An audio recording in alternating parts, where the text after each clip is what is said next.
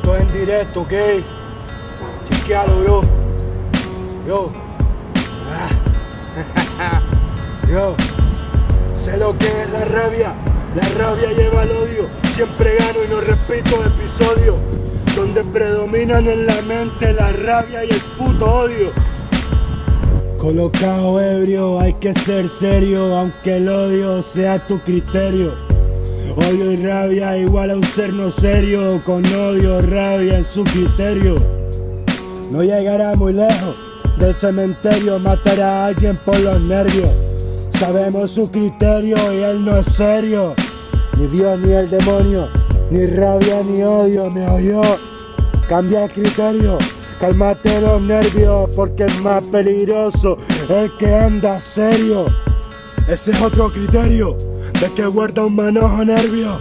Esos dos criterios igual a guerra, en serio. Dos criterios, dos arrebatos, dos mismos conceptos, dos asesinatos. Uno de los dos mató al otro, hay otro criterio, amor de familia, loco. Mataron a otro es muy poco, y así continuamente acabarán con otro. Porque carajo se vuelven locos. ¿Será que se van matando uno a otro? Viven sin expectativas en sus puñeteras vidas. Llénate de odio y rabia, yo la guardo en la saliva. Y grito las expectativas que tienen salida. Ese criterio del que hablo me ha marcado la vida, pero he buscado salida con expectativa. Busco mi salida, lejos de esos putos suicidas.